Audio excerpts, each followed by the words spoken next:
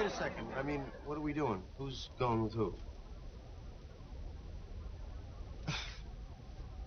Look, you guys should you guys should go. No, um, you know, you, you planned this all out and I don't want to ruin it, so you guys should just go. Come on, man. You drove No, all the way no, up no, here. no, no, really. I've got to take the car back anyway. I'm spending all day tomorrow with Ben.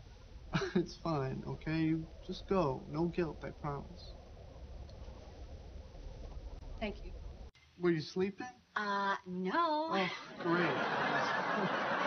So, uh, oh, I had to get you a whole new battery. I got you the best one I could because that's not where you want to skimp. You're a genius, Yeah, Ross. well, it came to about $112, but what the hell? Just call it an even 110. Okay, I'll pay you tomorrow. Okay. Okay, bye. So they, uh, they all took off. It was pretty hard watching them go, you know? Yeah, okay, bye.